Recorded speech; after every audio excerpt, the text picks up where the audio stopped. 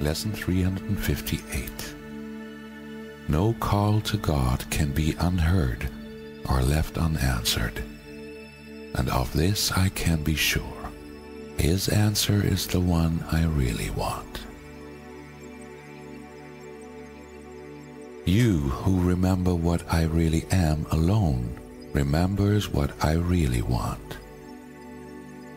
You speak for God, and so you speak for me. And what you give me comes from God Himself.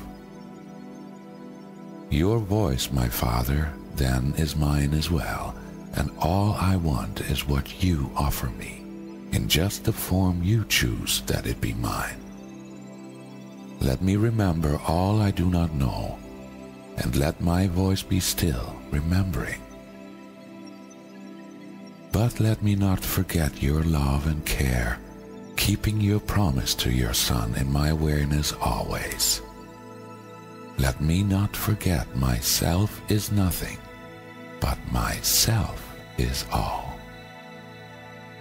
No call to God can be unheard or left unanswered. And of this I can be sure. His answer is the one I really want.